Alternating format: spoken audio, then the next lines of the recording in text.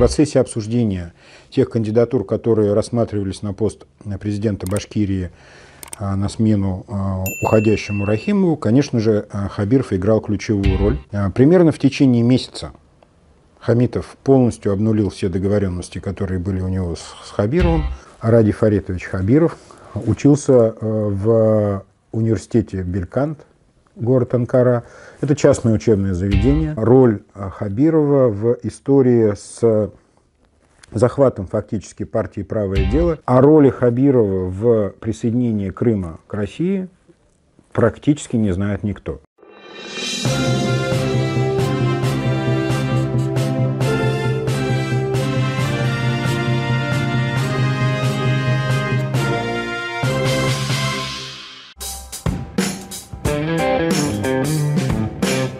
Настоящий обзор и настоящий анализ команды Хабирова и самого Хабирова в данный момент не ставит своей целью критиковать эту команду, каким-то образом ее принижать или оскорблять. Однако э, основной целью этого обзора является э, желание и стремление понять те перспективы, которые образуются у Республики Башкортостан с приходом новой власти. Очевидно, что Хабиров пришел в Башкортостан э, всерьез и надолго.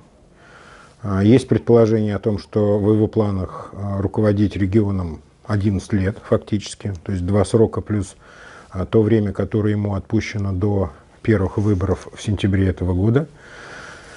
А, соответственно, было бы неплохо понять, что нам сулит приход Хабирова, что может быть, чего не может быть, на что он способен, откуда вообще он взялся. Ведь на самом деле, несмотря на тот флер, который а, образуется вокруг Хабирова как человека исключительно башкирского, нашинского и тому подобное, мы а, на самом деле очень немного знаем про самого Хабирова. А, широкие круги общественности вообще практически про него ничего не знают. Его 10 лет не было в регионе, а до этого он был руководителем администрации Рахимова, завершил свою карьеру в Башкирии в, этом, в этой должности. И даже в этой должности он не был знаком широкому кругам общественности настолько, насколько традиционно известен э, в регионе всем э, руководитель, э, губернатор, президент, как угодно будем называть его. Потому было бы полезно подробнейшим образом проанализировать и трудовой карьерный путь Хабирова, и те обстоятельства, которые сопровождали его на этом пути. Вообще, конечно, для политика публичного политика подобного а, ранга, подобного калибра необходима полная открытость его карьеры, его биографии. А, желательно, чтобы в ней не было никаких темных пятен или э, белых пятен, как угодно их называйте. Однако у Хабирова этих пятен предостаточно.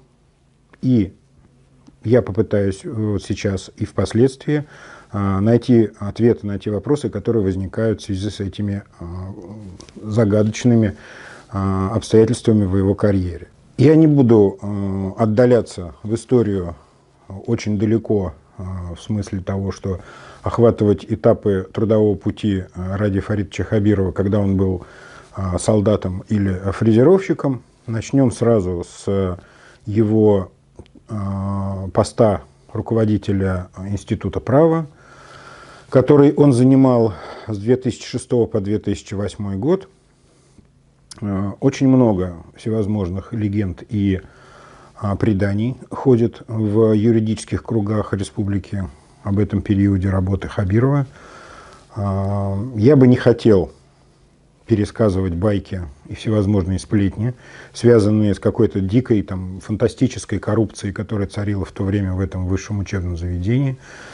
А, мне бы не хотелось анализировать те схемы, которые, опять же, существуют в легендах и преданиях юристов, которые учились или учили будущих юристов в то время. А, но а, мне совершенно непонятно, каким образом господин Хабиров переместился с поста руководителя Института права на пост руководителя администрации Муртазы Губайдуловича Рахимова. А, наверное, я буду часто оговариваться, путая фамилии Хамитова, Рахимова и Хабирова, потому что они настолько все сплелись и исторически, и в смысловом плане, что а, трудно, наверное, будет не а, оговариваться в этом деле, но я постараюсь быть точным. Так вот, в 2008-2010 году Ради Хабиров работает в администрации тогда еще президента Республики Башкортостан Муртазы Рахимова. Молодой, активный, резкий, решительный. Он сразу занял такую очень ключевую позицию – в иерархии башкирской власти. Напомню, что в то время должность руководителя администрации президента была мега важной. Наверное, с уходом Хабирова с этой должности значимость этого поста стала все уменьшаться и уменьшаться, со временем превратившись, в общем-то, в техническую, как вот сейчас, например, а тогда это был человек номер два в республике, без всяких оговорок. Никакой премьер-министр и никакой а, там, председатель а, госсобрания Курултая а, даже близко претендовать не мог на тот уровень власти, которым обладал Хабиров в то время. И в это время, конечно, Хабиров очень активно занимался и хозяйственными, и политическими вопросами. А, существовала масса конфликтов, в которых участвовал Хабиров. Существует мнение о том, что Хабиров принял непосредственное деятельное участие в формировании э, корпуса э, судей в Республике Башкортостан. Поговаривают о том, что даже сейчас подавляющее большинство действующих мировых судей и судей районных судов во многом именно Хабирову благодарны своими постами. И мы должны понимать, что э, возможность влияния и контроля на судебную систему в регионе – это гигантский колоссальный рычаг, который характеризует человека, который его создал фактически, потому что Хабиров, как никто другой, понимал, что тот, кто владеет судами, тот фактически владеет миром. Но карьера Хабирова на посту руководителя администрации президента а, Муртазы Рахимова а, внезапно оборвалась. Надо, наверное, вспомнить о том, что а, период заката власти – Муртаза Губайдуловича был охарактеризован ну, такими, скажем, прямо параноидальными явлениями внутри администрации. Пика достигли всевозможные заговоры, всевозможные интриги. И вот, в общем-то, наверное, жертвой одной из таких интриг и пал Ради Хабиров. Добрые люди нашептали Муртазе Губайдуловичу, что молодой амбициозный политик – метит ни много ни мало, как э, в его кресло, а собирается стать следующим президентом Республики Башкортостан и ведет об этом активные переговоры в Москве. Действительно, в то время э, Хабиров очень много времени проводил в Москве, э, заводил очень полезные связи. Одной из этих наиполезнейших связей была тесная связь с влиятельнейшим чиновником администрации президента России Владиславом Сурковым, и эта связь в дальнейшем сыграла очень серьезную роль э, в судьбе самого Хабирова. Так или иначе, злые э, языки нашептали э, Муртазе Губайдуловичу о том, что Ради Фаритовича пора смещать с должности, пока не поздно. Разные есть версии о том, кто же были застрельщиками вот этой расправы с Хабировым. Называют и фамилию Сарбаева, называют и фамилию Толкачева. А, про Толкачева я, пожалуй, бы уверенно говорил о том, что он действительно был одним из э, инициаторов вот этой травли Хабирова. Ну, так или иначе, Муртаза Губадулович не выдержал и дал команду ФАС. Э, ну, пометуя о том, как тогда была устроена власть в Башкирии, э, исполнительные э, псы режима кинулись значит, э, выполнять задачу, поставленную их э, сюзереном. Немедленно Хабиров был обвинен во всех смертных грехах, было заведено уголовное дело в связи с определенными коррупционными предполагаемыми э, прав правонарушениями Радия Фаритовича. Э, партийный аппарат партии «Единая Россия», собравшись на внеочередное заседание, осудил в лучших традициях 1937 года и практически единогласно исключил Хабирова из партии «Единая Россия». Надо отметить, что единственным человеком, который не голосовал за исключение Хабирова из партии «Единая Россия», был а, Рустем Ахмадинуров. Этот аттракцион поразительной верности, я бы сказал, даже в тот момент безоглядной верности своему хозяину, конечно же, сыграл впоследствии существенную роль в судьбе самого Ахмадинурова. Об этом мы поговорим чуть позже. Но, в общем, факт остается фактом. Рустам Ахмадинуров единственный, кто не голосовал за исключение Радия Хабирова из партии «Единая Россия». Хабиров понимает, что дело пахнет керосином, и вот-вот может случиться самое страшное, а именно дойдет дело до ареста и, в общем-то, предания суду. Маховик э, крутился все скорее и скорее. Хабиров практически конспиративно покидает Башкирию, выезжает в Москву, и вот тут э, ему на помощь приходит Владислав Сурков, который э, заступается за него, в администрации президента и добивается того, что Хабиров получает а, должность а, в администрации в Кремле, что фактически спасает его полностью от всех проблем, которые у него а, сложились в Башкирии. Кремль дал отмашку и закрылись все уголовные дела, прекратились все гонения на Хабирова, он даже впоследствии восстановился в любимой партии, и Хабиров остается работать в Москве. А, он а, тесно сотрудничает, естественно, с Сурковым, выполняет все его поручения. А, вообще он в Москве, работая в управлении внутренней политики и занимаясь взаимодействием с Госдумой и думскими партиями, Хабиров еще параллельно выполнял всевозможные спецзадания, о которых мы тоже поговорим подробно позже.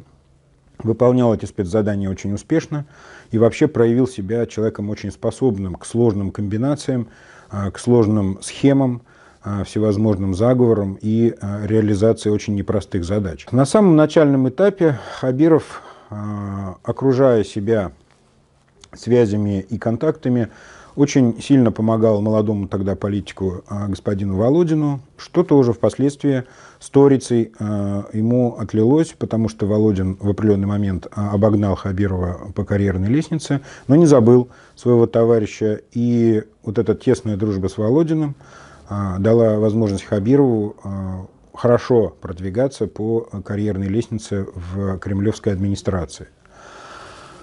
Ну, наступили времена, когда стало понятно, что э, пора менять Муртазу Губайдуловича Рахимова на кого-то другого, и Кремль озаботился выбором нового президента Республики Башкортостан. В далеком уже 2010 году начались э, судорожные поиски сменщика Рахимову. Как и традиционно сложилось в России, запасных у нас очень мало, список был короткий.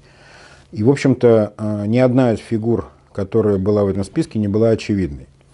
Казалось бы, что было бы логично, наверное, рассматривать и самого Хабирова на пост э, президента э, Республики Башкортостан в тот момент, но кому-то в Кремле показалось, что это будет преждевременно, хотя бы потому, что слишком уж свежи были вот эти конфликты, которые э, бушевали вокруг фигуры Хабирова во власти э, Башкортостана, и э, в Кремле заопасались, что придя на пост э, президента Республики Башкортостан, Хабиров немедленно начнет мстить. Учитывая его характер, человека, в общем-то, жесткого, с хорошей памятью, и по-хорошему, наверное, злого, Кремль, наверное, обоснованно беспокоился о том, что в Башкирии начнется политическая резня, что, собственно, не приведет, наверное, к стабильности и эффективности управления. И потому э, кандидатура Хабирова в тот момент была отвергнута полностью. А надо сказать, что Ради Фаридович отнесся к этому достаточно философски, то есть э, не стал добиваться и не стал опровергать э, этих аргументов. И наряду с этим он, в общем-то, остался ключевой экспертной фигурой в Кремле. Я имею в виду то, что в процессе обсуждения тех кандидатур, которые рассматривались на пост президента Башкирии а, на смену а, уходящему Рахимову, конечно же, а, Хабиров играл ключевую роль, и он во многом определял это решение. Находящийся в списке претендентов третьим номером Рустем Хамитов правильно понял раскладку в Кремле, и пал в ноги э, Радио Хабирову с просьбой поддержать его кандидатуру. Хабиров, в принципе, согласился поддержать э, кандидатуру Хамитова, но на определенных условиях. На условиях скажем так, определенного некоторого влияния внутри республики на условиях, скажем так, каких-то контроля каких-то направлений и так далее, и так далее. Я не буду конкретизировать эти условия, потому что на самом деле это было бы неэтично, наверное, ни к той, ни к другой фигуре. Но Хамитов, понимая, что позиция его сверхслабая, согласился на все условия безоговорочно.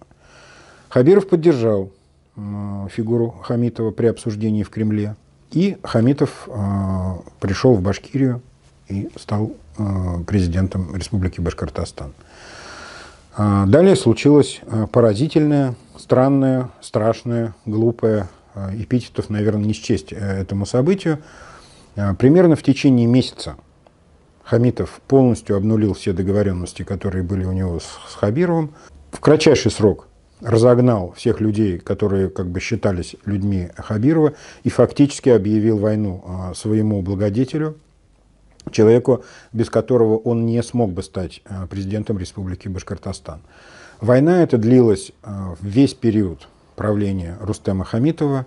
Она иногда затихала, иногда обострялась. Э, надо сказать, что Хабиров ну, как бы не оставил безответно вот этот э, чрезвычайный поступок Хамитова.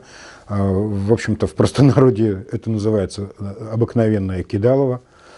И весь период фактически пребывания Хамитова на посту Хабиров незримо присутствовал в Республике Башкортостан, организуя всевозможные процессы издалека, дистанционно, настолько, насколько ему это было возможно. А, доходило даже до того, что Хамитов напрямую жаловался в Кремль на воздействие Хабирова. А, жаловался Хамитов лично Путину трижды.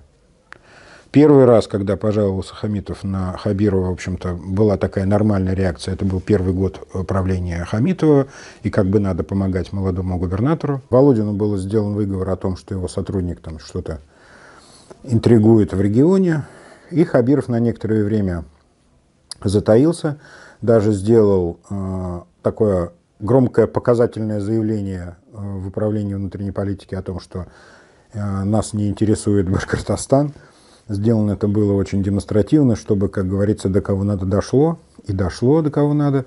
На некоторое время а, конфронтация была а, заморожена, но впоследствии она продолжилась. А, Хамитов еще дважды жаловался Путину на Хабирова. Эффект, прям скажем, уже был незначительным, а потом и нулевым. В конце концов, Путин уже, прям скажем так, рассердившись, сказал, что ну вы же губернатор, давайте как-то сами решайте свои проблемы вот эти вот. Эта конфронтация действительно происходила э, весь период э, правления Хамитова. Хабиров не забыл э, обиды, и тем триумфальнее был его приход к власти в 18 году. Прежде чем мы будем обсуждать приход Хабирова в Башкирию 2018 году, э, надо э, поговорить о периоде э, с 2016 года. В 2016 году Володин, руководитель, первый зам руководителя администрации президента Путина, фактически потерпел фиаско. Ему было поручено заниматься выборами в Государственную Думу 2016 года. В определенном смысле он это поручение провалил и был отправлен, собственно, командовать этой Думой. А, ну, с уходом ключевого сотрудника администрации а, президента, а первый заместитель руководителя администрации президента, это фактически есть самое главное действующее лицо в этой структуре, потому что руководитель администрации традиционно над процессами, а, был это значит, Иванов, был это сейчас, есть сейчас это Войно. Эти люди не так заметны и видны. Вот первый заместитель руководителя, каковым и был Володин, это главный функционер этой всей структуры. И вот он-то и был смещен э, из администрации президента. Ну, э, традиционно вместе с ним должны были уйти и все его люди. А напомню, Хабиров был, конечно, плоть от плоти человеком Володина э, внутри администрации. Надо отдать должное Володину, что практически всех, кто желал продолжить карьеру в политическом пространстве страны, всех своих подчиненных он пристроил так или иначе, успешно или не очень.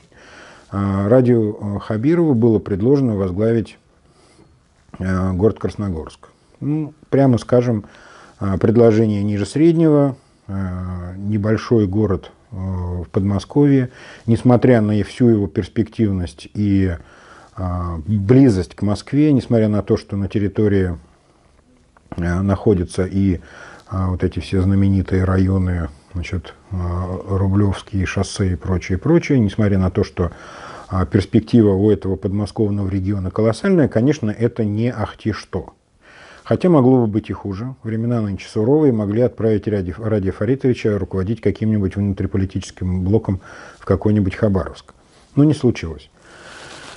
И здесь, конечно, по поводу назначения Хабирова на Красногорск много всяких а, рассуждений, суждений и а, предположений существует. Кто-то сразу предполагал, что это некий трамплин в Башкирию, кто-то говорил, что это а, такая, в общем-то, ну, серьезное понижение в рейтинге и в ранге.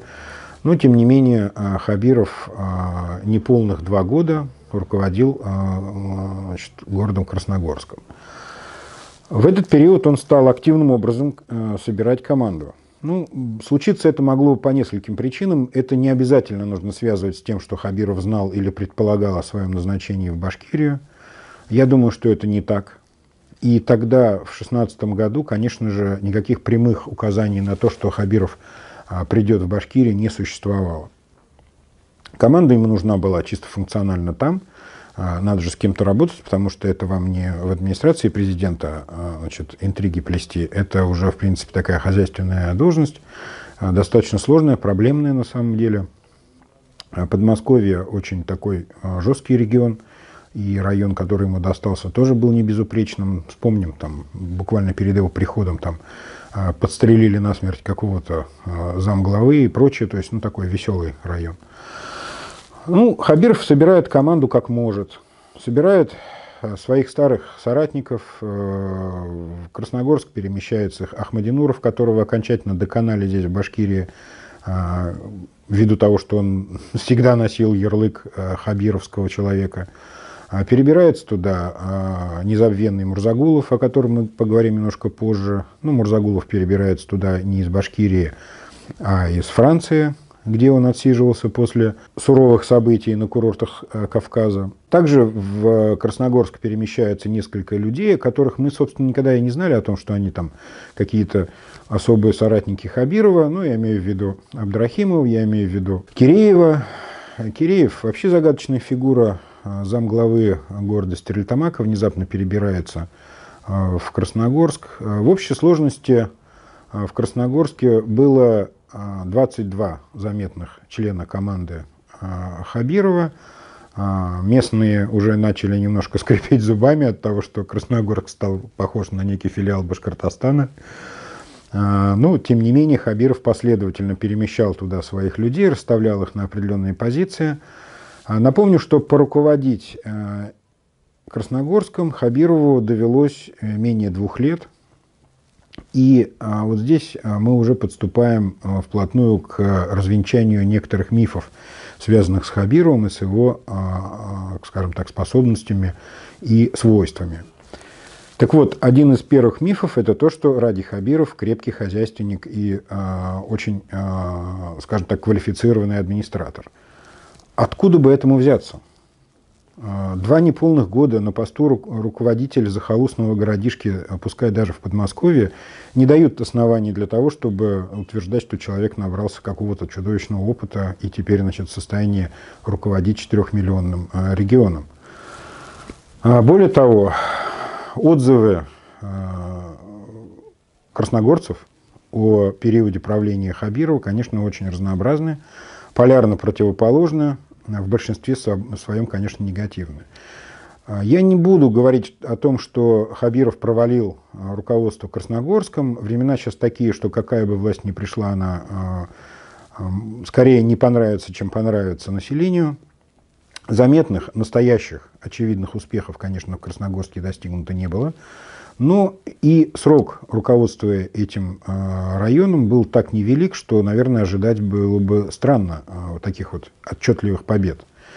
А, конечно же, Мурзагулов сейчас рассказывает какие-то байки небелицы о том, как значит, там преобразился и расцвел Красногорск.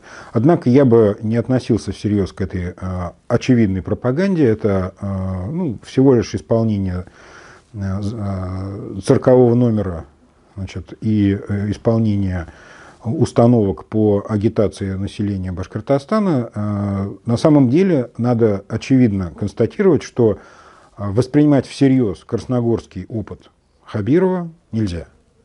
То есть его как минимум не было, а как максимум он был негативным. Вот это один из мифов, которые нужно четко отвергать и не вестись на вот эту вот достаточно э, детсадовскую пропаганду, которую ведет э, Мурзагулов и его э, компания.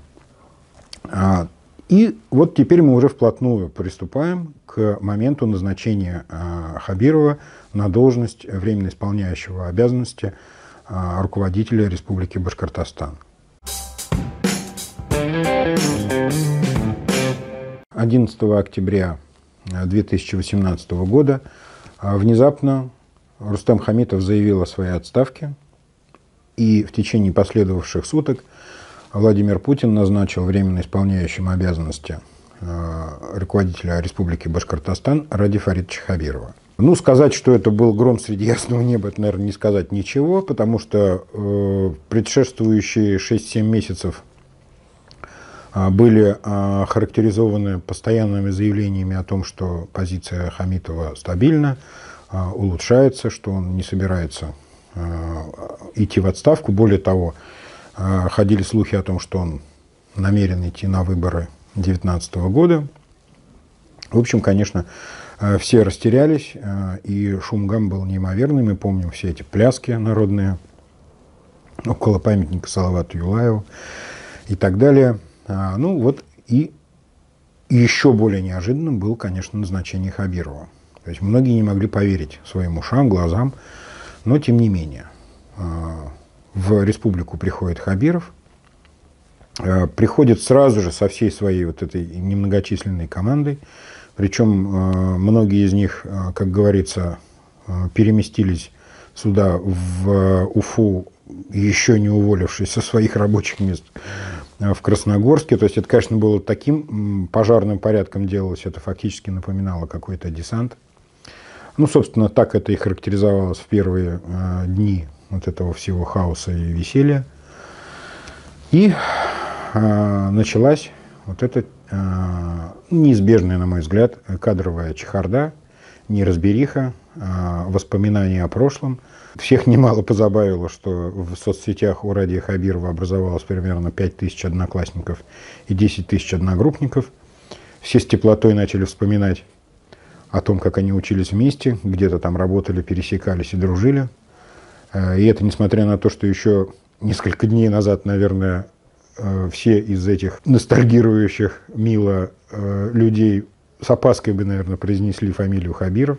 Надо сказать, что Хабирову хватило ума и мудрости не повестись на вот эту вот, значит, первую волну а, лизоблюдство, которое традиционно захлестывает у нас э, вновь назначенных руководителей. У него, видимо, были более серьезные проблемы, они у него до сих пор есть. И самая главная проблема Хабирова – это, конечно, кадры. Ту команду, которую он смог переместить э, вслед за собой из Красногорска, назвать командой в полной мере, конечно, нельзя. Э, хотя бы потому, что численность ее столь незначительна, что э, ну, считать ее достаточной для нормализации процессов э, руководства в республике невозможно. Напомню, что э, Хабиров кратчайший срок расставил по ключевым постам своих людей. Ну, сколько было, столько и расставил. Значит, он ну, мгновенно, в общем-то, поменял руководителя строительного направления, практически сразу сместил министра здравоохранения, вслед за ним сместил министра экологии и природопользования.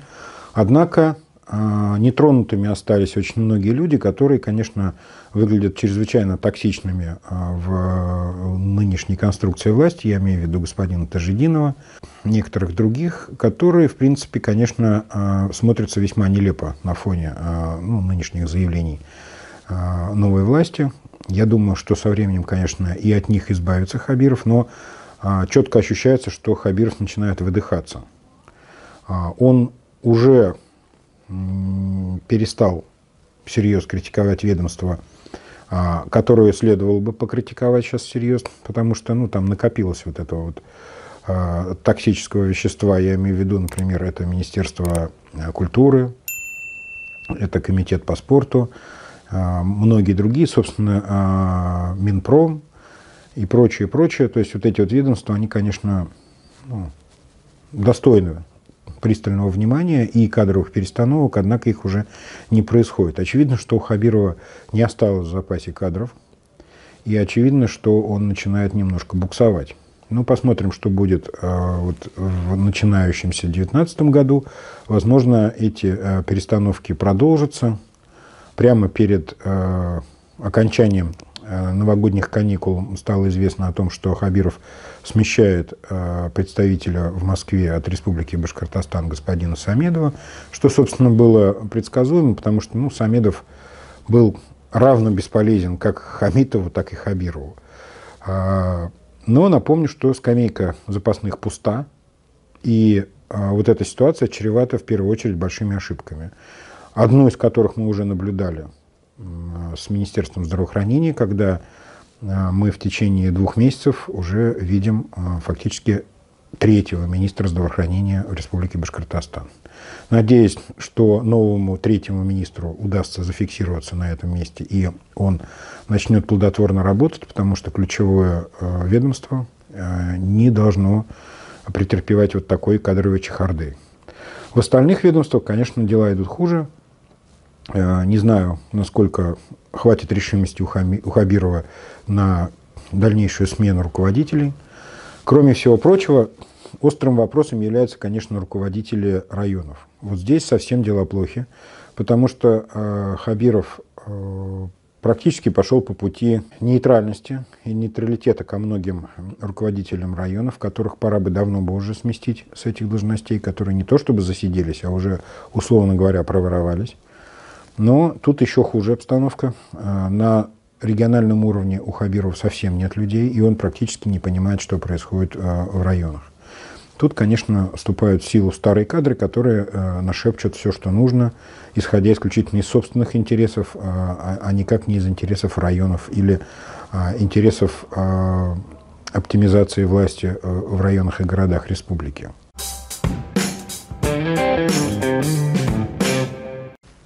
Прежде чем а, продолжим мы говорить о тех подходах и тех а, процессах, которые идут а, с подачи Хабирова в Республике Башкортостан, хотелось бы поговорить о тех белых пятнах в его биографии и о тех вопросах, которые возникают к Хабирову как политику.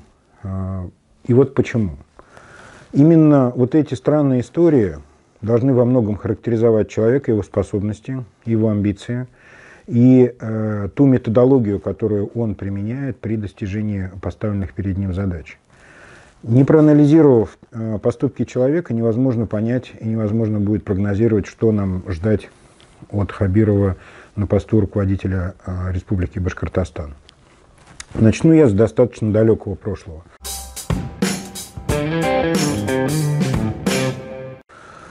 Во всей кутерьме, которая творится сейчас вокруг Хабирова, и а, в связи с тем, что э, еще ни разу не было фактически никакого серьезного разговора о его карьере, о его трудовом пути, а это было бы очень необходимо на самом деле для а, ну, политика такого масштаба. В общем-то, он должен отчитаться перед э, людьми о своем прошлом, как он пришел, зачем, почему. И вот э, в этом э, трудовом пути, в этой карьере, в этом жизненном пути у Хабирова есть ряд э, белых пятен. Одно из этих белых пятен – это учеба в Турции, в Анкаре, в далеком 92-94 годах. Ради Фаритович Хабиров учился в университете Белькант, город Анкара. Это частное учебное заведение. Есть много вопросов к тому, кто фактически оплачивал а, обучение, проживание и пребывания в этом учебном заведении господина Хабирова. Есть две версии. Первая, что это делалось за счет бюджета Республики Башкортостан по какому-то там обмену. Вторая версия, что это э, все оплачивалось правительством Турции. И тут стоит вопрос, зачем и почему. Всего двое человек тот момент отправились учиться э, в этот замечательный университет Белькант в Анкаре. Одним из них был фактически руководитель э, профсоюза студентов э, Радий Хабиров, который два года проучился в этом замечательном турецком учебном заведении. А обучался он по специальности права, магистратуре, закончил это обучение успешно. А, три или четыре раза он выезжал из Турции обратно в Уфу домой, я так понимаю, на побывку. Вопрос. Какую роль, ну, в первую очередь и финансовую, но и, э, скажем так, мотивационную, сыграла здесь, э, скажем, например, Минобразование Республики Башкортостан, отправляло ли оно Хабирова или кто-то другой, или это была инициатива турецкой стороны. И вообще это достаточно нехорошо и подозрительно выглядит, сам факт того, что это не обсуждается, не объясняется и а, об этом не говорится. Второй вопрос к этой истории у меня вот какой. А, достоверно стало известно мне, после а, общения с очевидцами всех этих событий в Турции и с очевидцами этих событий в России, что непосредственное участие в организации вот этой учебы а, для а, башкирских представителей сыграл сын Ахмед Заки Валиди Субидей. Вот это для меня явилось очень большим, в общем-то, сюрпризом, потому что, насколько нам известно. Вообще фигура Валидова весьма э, спорным образом трактуется в э, нынешней э, современной истории Башкортостана. Очень неоднозначная оценка э, Валидова э, существует со стороны официальных властей. Особенно учитывая, что это был 92 год – были свежи все вот эти, значит, э, ну, отсылки к тому, что Ахмед Заки Валиди был совершенно, ну, как бы не э, поощряем и не упоминаем даже еще свежий, буквально вчера, советской властью. И роль сына э, Ахмед Заки Валиди как организатора выезда на улучшение вот этих вот студентов из Башкирии, конечно, вызывает массу вопросов.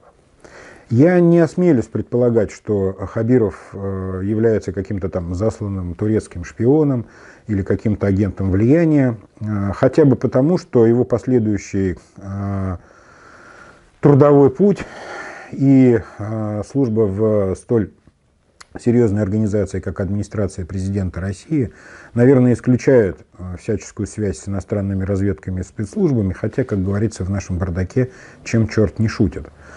А, с другой стороны, странно а, достаточно ведет себя Хабиров в отношении турецкой стороны. Не так давно, вот буквально месяц назад, а, он демонстративно проигнорировал визит консула Турецкой Республики и представителя торгпредства Турецкой Республики в Башкирию, причем проигнорировал как-то так очень уж тотально, то есть мог бы и встретиться хотя бы для галочки. Ну, в принципе, принято вообще-то такие встречи организовывать и проводить. Я не знаю, почему этого не случилось, но в связи вот с этой историей с учебой Хабирова в Турции, конечно, э, появляются вопросы.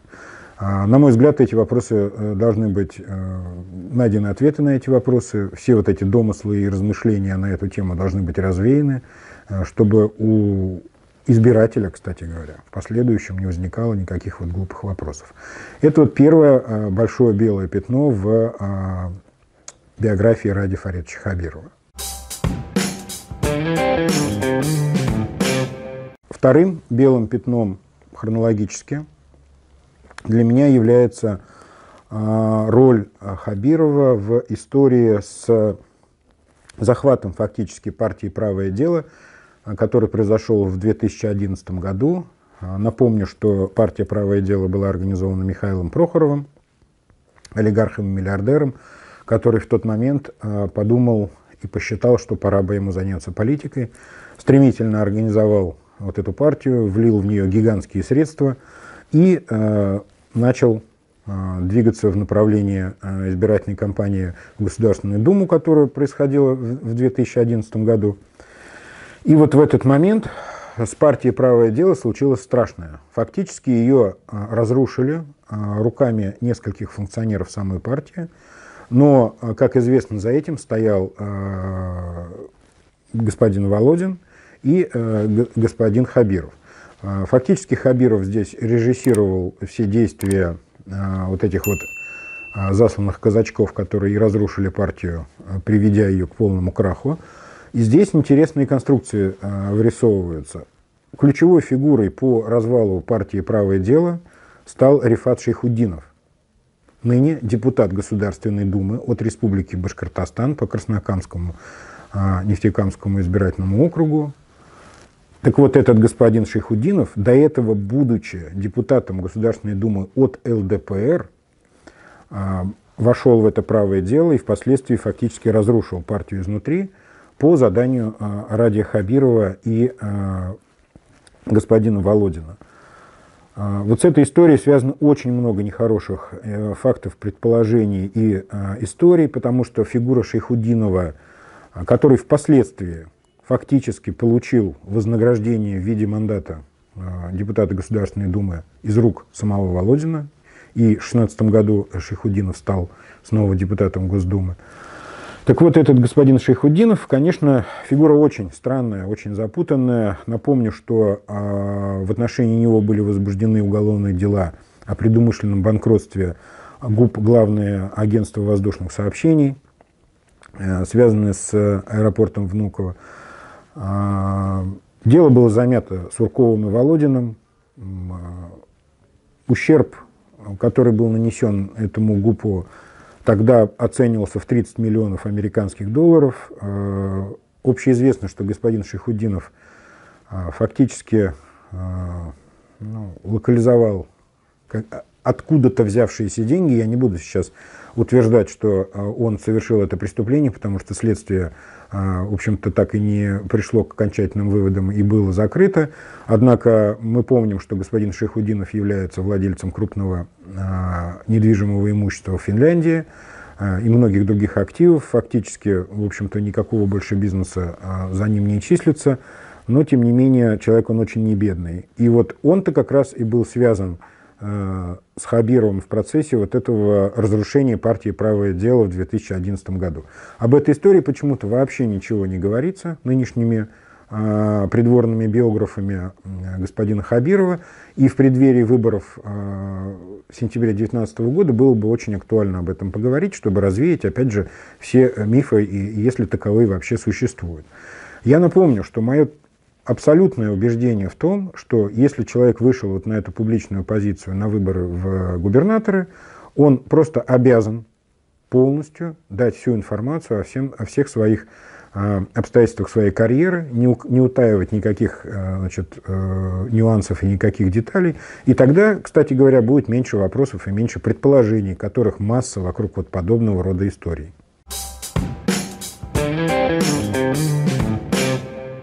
Третья загадочная история в карьере Хабирова – это Крым. Вот о роли Хабирова в присоединении Крыма к России практически не знает никто. Это самая загадочная страница в его э, биографии. Единицы людей знают вообще о том, что он принимал в этом участие.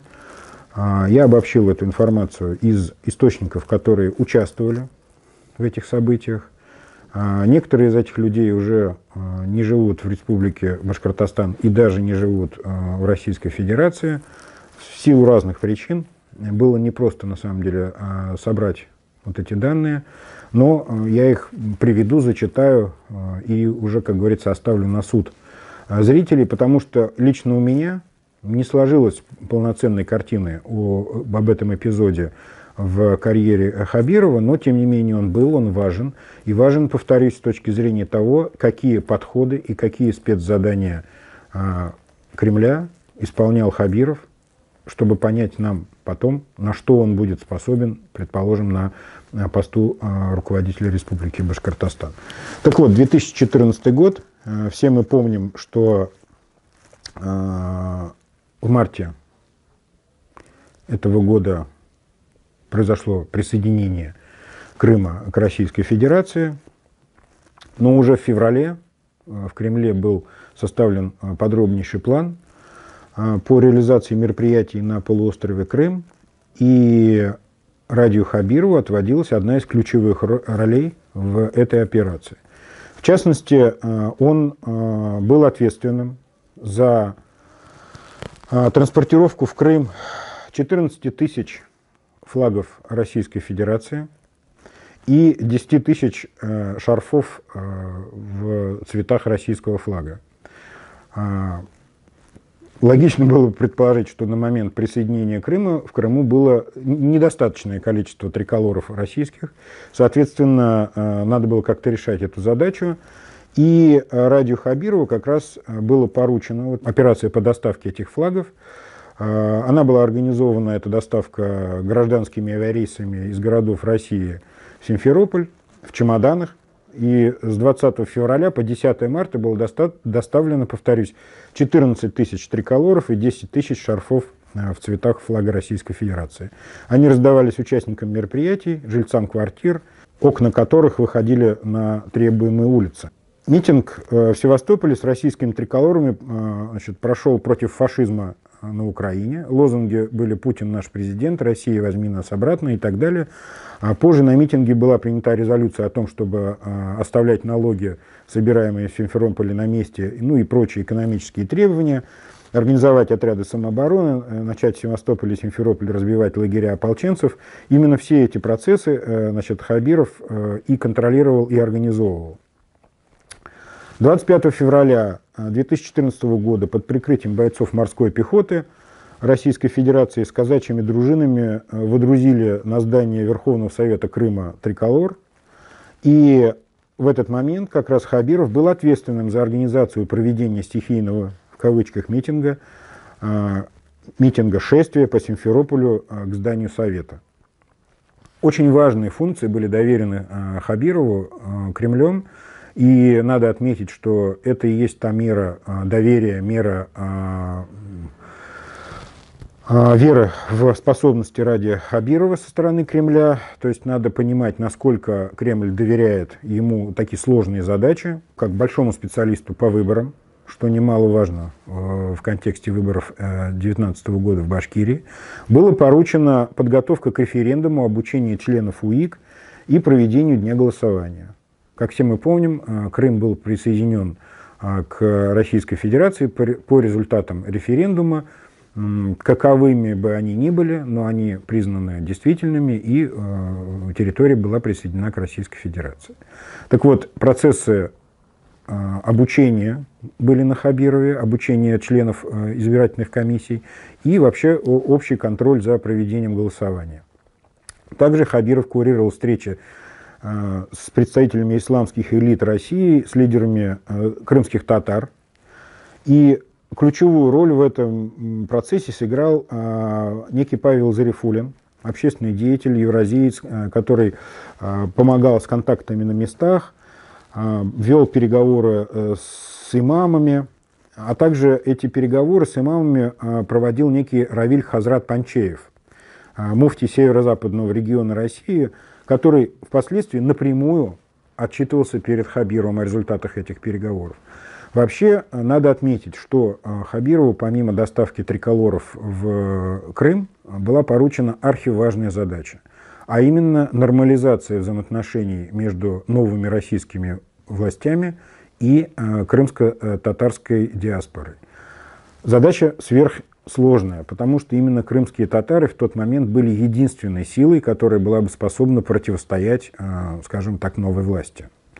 А крымские татары вызывали колоссальное беспокойство у э, российских властей, потому что они понимали, что это действительно сила.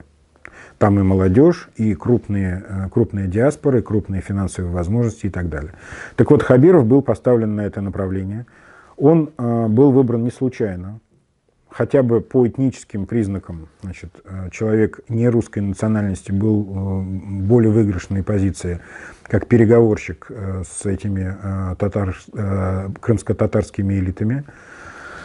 Напомню, что крымские татары в общем-то, имели традиционную проблему с местными властями, в том числе и с украинскими властями, а ранее до этого с советскими властями, и проблема эта была в земле. В Крыму был традиционный самозахват земель, так называемые туалетные участки, когда там стихийно захватывалась территория, ставился какой-то туалет халупа, объявлялся недостроем и дальше потихонечку приватизировался. Этих проблем у крымских татар была масса, и она, э, эта проблема была основной. Так вот, в процессе переговоров, судя по всему, а, лидерам крымско-татарской диаспоры были даны обещания а, о том, что вот эта проблема будет решена новыми властями, они, э, их интересы будут удовлетворены, и примерно на этих условиях э, был найден консенсус. Ну, при помощи и Хабирова лично, и вот этих вот исламских э, авторитетов, которые были направлены на эти сложные переговоры. Показательно вот что. Помимо того, что очень важную роль доверили Ради Фаридовичу Хабирову, а, помимо этого надо отметить такой момент, что Впоследствии, когда власть в Крыму уже обосновалась, утвердилась и была легитимизирована, ни одно из этих обещаний выполнено не было. А земельный вопрос так и не был решен для крымских татар.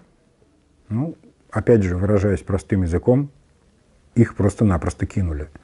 Был некий всплеск недовольства и даже противостояния, но э, момент был упущен. Э, особенно рьяные активисты были э, самым жестким образом э, нейтрализованы, вплоть до физического устранения посадок в тюрьмы и так далее, и так далее. В общем, конечно, а, крымских татар жестко кинули. И напомню, что ключевую роль в этом процессе, вольно или невольно, я не знаю, сыграл Ради Фаридович Хабиров.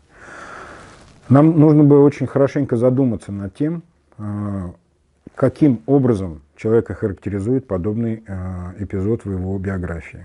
Хотелось бы, конечно, услышать объяснение и рассказ об этих событиях из первых уст. Э, здесь нечего стыдиться. Человек исполнял государственную задачу. Неплохо было бы услышать от него самого, как он трактует эти события. Повторюсь, я информацию собирал из уст тех очевидцев и участников событий, которые, скажем так, на данный момент не встроены в систему действующей государственной власти и потому, возможно, имеют некое предвзятое отношение к этим процессам. Повторюсь, хотелось бы услышать и а, противоположную точку зрения, если она существует.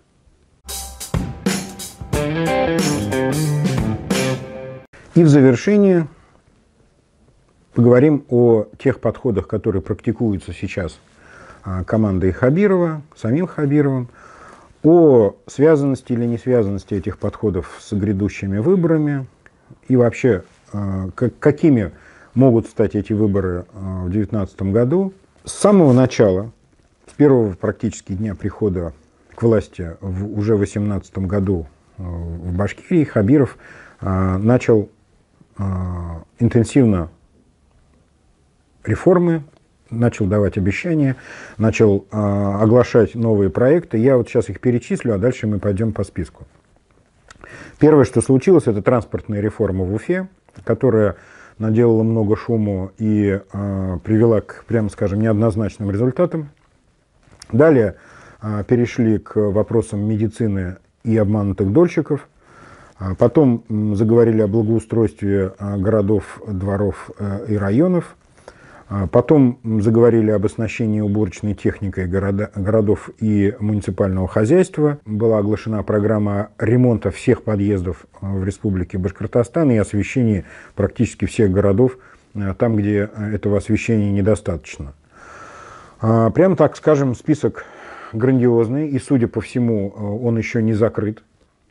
В ближайшее время мы, видим, услышим еще о каких-то громких проектах и прожектах новой власти – отличительной чертой всех этих прожектов а, является неопределенность с источниками финансирования, потому что если сложить а, в сумме все вот эти затраты, которые предусматриваются по этим проектам, там уже набегает миллиардов, наверное, так 50. Этих денег, безусловно, в казне нет и не предусмотрено бюджетом ни 19 ни 20 годов. А где они а, будут изыскиваться, совершенно непонятно. Были, правда, там туманные какие-то обещания по поводу каких-то совершенно космических а, денежных вливаний со стороны Путина, но это пока все формальные проекты на уровне там, какого-нибудь народного фронта. а не на уровне э, статей бюджета. Надо отметить, что, конечно, подобный набор обещаний, он, безусловно, очень э, нарядно выглядит с точки зрения оживления общественной жизни, политической жизни в Башкирии, которая э, в период позднего Хамитова, прямо скажем так, приутихла но э, и опасений вызывают эти проекты немало. Они, в первую очередь, несут опасность самому Хабирову в том смысле, что неисполнение столь громких и столь ярких обещаний всегда чревато ну, и разочарованием, и э, претензиями со стороны населения. Возьмем некоторые из этих прожектов, чтобы попытаться понять их исполнимость или неисполнимость. Я, как человек, давно занимающийся проблемой обманутых дольщиков э, и глубоко понимающий причины и природу этих проблем, могу начать, естественно, с, это, с этой истории. Да? Это дольщики. А, судя по тому, что мы услышали в последние месяцы Э, ушедшего 2018 э, года, в ближайшее время у нас ожидает бум строительства и достраивания этих объектов. А именно, согласно плану, который был оглашен на заседании правительства, каждый квартал 2019 года будет вводиться 16 домов недостроенных вот в рамках этих проблемных объектов. Я абсолютно не верю, что это возможно, потому что они торжественно достроили 5 или там 6 уже построенных фактически домов, которые были в готовности 95 и больше процентов, а вот остальные дома-то они будут посложнее. И уже к концу января по плану они должны сдать первые 16 домов э, проблемного строительства. Ну, в общем, это, конечно, совершенное самоубийство. Э, не знаю, как будут оправдываться и э, возможно ли скажем, э, нивелировать неисполнение этой э, проблемы, этой задачи путем там, увольнения очередной порции каких-нибудь функционеров из госстроя, я думаю, что э, дольщикам глубоко наплевать на фамилии тех, кто руководит этими ведомствами, им подавая исполнение вот этих обязательств. 16 домов в месяц, будьте добры, вы не доположь. Далее, конечно, еще более нарядные э, проекты, это вот ремонты подъездов, которые прозвучали в конце э, декабря. Но тут э, такая каша и такая путаница цифр и планов, что это больше походило на предвыборную агитацию, чем на э, серьезную хозяйственную работу. И здесь тоже, а, если внимательно и, и дотошно начать контролировать исполнение вот этих всех обязательств, тут, конечно, а, дебет с кредитом никак не сойдутся, хотя потому, что непонятно, кто будет исполнителем этого проекта, на каких условиях это будет происходить, кто физически будет отвечать за эти все а, вещи и кто это будет все реализовывать. Ну и освещение городов, благоустройство. Ну, благоустройство у нас свелось к тому, что э, пожарным порядком в центре Уфы спилили все качели старого образца и установили качели нового образца. Тут, конечно, ума много не надо. Были бы деньги э, на закупку этих декоративных вещей. Было закуплено 39 единиц техники для города Уфы для очистки снега, а снега в этом году, слава богу, э, в Башкирии и в Уфе немного. А, тут э, новый мэр Уфы Мустафин прям скажем так, выдохнул с облегчением. Однако асфальт у нас в Уфе скребут э, со стервенением, и э, ну, нельзя сказать, что у нас вообще какие-то есть проблемы со снегом в Уфе. Справились, вопросов нет. 39 автомобилей закуплено. Не очень хорошо получилось с медициной, потому что э, два подряд новых министра, значит, э, и предыдущий, который вот буквально недавно был оттуда выгнан, э, не справились с простейшими задачами покупки необходимой медицинской техники даже при наличии денег. Э, я напомню, что в полном объеме скорой помощи для Республики Башкортостан, э, как было запланировано, не закуплено. Попытались там замазать эту историю торжественным вручением тех машин, которые были куплены за федеральные деньги, но люди, знающие ситуацию, конечно, не были введены в заблуждение. Напомню, что несколько десятков э, машин скорой помощи так и не были куплены для Республики Башкортостан в 2018 году, что я вообще отношу к должностным преступлениям, которые на самом деле несут э, угрозу жизни и здоровью большому количеству людей. И, в принципе, этим вопросом, наверное, должна заниматься прокуратура. Ну и всевозможные вот эти вот декоративные э, истории, которые нам также обещаны э, командой Хабирова, это освещение городов – какие-то 8 тысяч новых лампочек внезапно вкрученных а, в течение там чуть ли не недели и так далее. Это мне очень сильно напоминает а, знаменитую многолетнюю аферу в Нью-Йорке, когда нью-йоркская мафия несколько десятков лет якобы бетонировала Нью-Йоркскую бухту Как потом выяснилось, они этого не делали, но зато очень здорово все это актировали. Вот освещение городов и улиц э, может вот превратиться в подобную историю, потому что в отсутствии должного контроля за расходами и за выполнением вот таких планов тут, конечно, можно делать все, что угодно. Ну и транспортная реформа Уфы, самая громкая первая история, которую огласил Хабиров, прямо скажем, вопросов осталось достаточно много.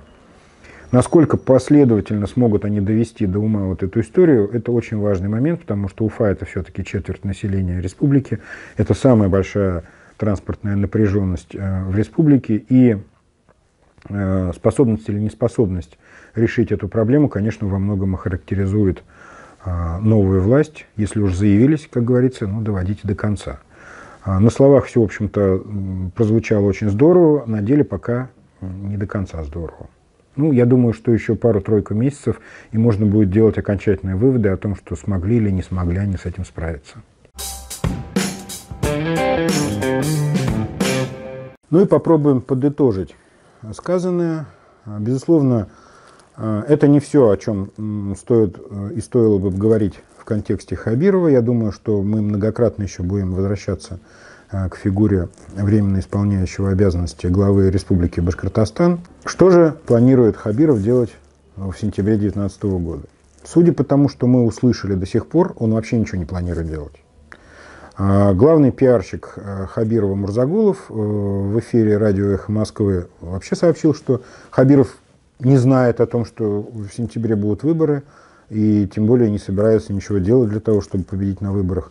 Но это как минимум э, лживая и циничная позиция самого Мурзагулова, потому что наделять своего шефа подобными качествами, качествами человека, который игнорирует своих избирателей и не собирается а, агитировать на выборах, ну, это как минимум большая ошибка, а как максимум подлость. А вообще мне непонятна вот эта фигура вот этого Мурзагулова а, на посту обер-пиарщика Хабирова. Настолько это разнокалиберные фигуры, потому что ну, Хабиров действительно крупная федеральная фигура, с большим, хорошим опытом, по крайней мере, политическим опытом, а, который, конечно, не замещает там, административного, хозяйственного опыта, но, тем не менее, оказывает большое влияние. А Мурзагулов – это такая достаточно мелкая эпизодическая фигура э, политического авантюриста, который, ну, если его сравнивать с Хабировым, это, ну, в общем-то, это белый карлик. И почему Хабиров так зависит от Мурзагулова, почему он его за собой повсюду таскает, особенно учитывая, что а, еще в августе 2018 года э, Хабиров с треском вышиб Мурзагулова из администрации Красногорска. Э, в общем-то, все это было достаточно а, громко и, так скажем, постыдно. Э, как так Мурзагулов там очаровал Хабирова вновь, да, какие силы, я не знаю, может, это там Сидякин чего-то нашептал, там, так как все-таки Сидякин с Мурзагуловым, они давние компаньоны по бизнесу, может быть, он убедил Хабирова, ну, не знаю. Я абсолютно уверен, что концепция э, на выборах, конечно, у Хабирова изменится. Я думаю, что он добросовестно поучаствует в выборах в качестве э, полноценного кандидата э, на выборах э, в 2019 году, в сентябре. А, более того, а, хотелось бы на самом деле а, видеть выборы в Башкирии по-настоящему конкурентными. Потому что, ну, как говорится, не может быть так, чтобы был единственный претендент на пост главы Республики Башкортостан. Я ни в коем случае не говорю о декоративных претендентах типа Рафиса Кадырова или Айрата Дельмухаметова. Айрат, Рафис, ради бога, только не обижайтесь на меня, мы с вами знакомы лично. Но э, я не вкладываю ничего негативного в э, вот этот эпитет декоративный, я просто вещи своими именами называю. Э, я говорю о том, что, конечно же, на выборах руководителя Республики Башкортостан должно быть присутствовать более двух, вернее, хотя бы более одного реальных претендентов на, эту, на этот пост. Страна устала от безальтернативных выборов. Люди уже остро раздраженно реагирует на а, не просто фальсификации на выборах, а на а, профанации выборов. А, нужно отдавать себе отчет, что выборы возвращаются в Россию. И выборы должны быть нормальными выборами. И никто, как Ради Фаритович, этого э, лучше понять не может. Человек с такой квалификацией по выборным вопросам должен понимать, должен чувствовать э, настроение населения и чувствовать тренды в стране. Страна меняется, Башкирия тоже меняется, и я очень надеюсь, что выборы э, главы Республики Башкортостан пройдут честно, альтернативно, и их результаты будут залогом того, что новая администрация, новый глава Республики Башкортостан, будет это Хабиров или это будет не Хабиров, будет залогом того, что эти люди выбраны, этот человек и эти люди выбраны законно, правильно и ко всеобщему удовольствию.